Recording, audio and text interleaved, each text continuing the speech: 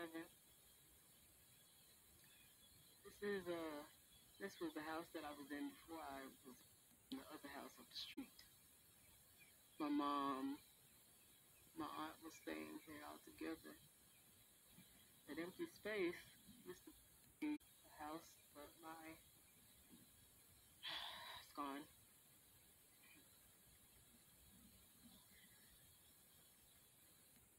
There used to be so many parties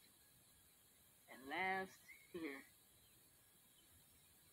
Even if there was some bullshit, there was still